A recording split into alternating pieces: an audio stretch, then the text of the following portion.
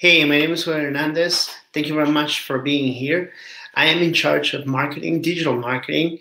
And in the next 60 seconds, I'm going to show you some numbers that, as a restaurant owner, will make sense. So, that being said, let's get to it.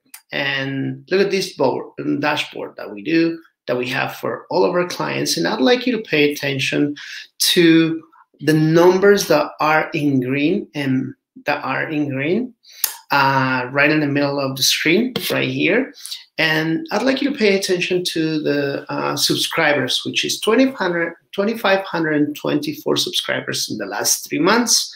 Out of those 2,500 plus subscribers, we've been able to generate more than 831 visits with more than $20,000 in sales.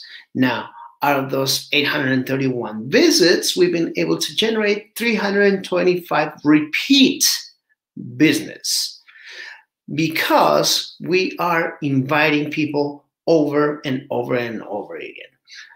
With that being said, if this makes sense, go ahead and make an, an appointment with us and you'll be glad you did.